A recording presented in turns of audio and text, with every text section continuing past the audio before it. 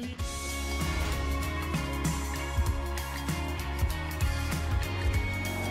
Hi everyone, it is an absolutely splendid day for football and we're looking forward to the game.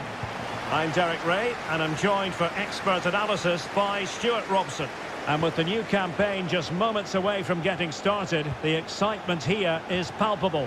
How's it going to... Well, clattered away.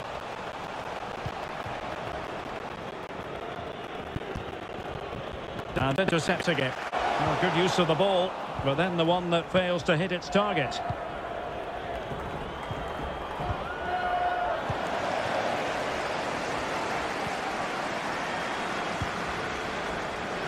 Creative look about this. Really happened from a throw-in.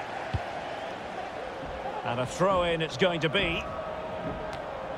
Well, that is annoying for any manager to see your own player giving the ball away from a throw-in. Teixeira. Fanny. And into the last 20 minutes. Showing patience, looking for the equaliser.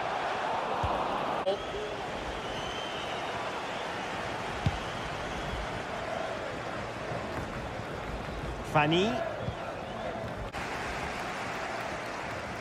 Might be able to get in behind the defence. But they dealt with the threat posed. And if you're wondering about added time, two minutes it'll be.